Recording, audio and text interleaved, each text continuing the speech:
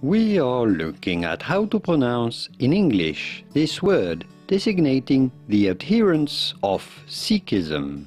How do you go about pronouncing it? Sikhs. Pretty straightforward once you know Sikhs. Sikhs. Here are more videos on how to pronounce words in English whose pronunciations aren't exactly always obvious. See you there to learn more.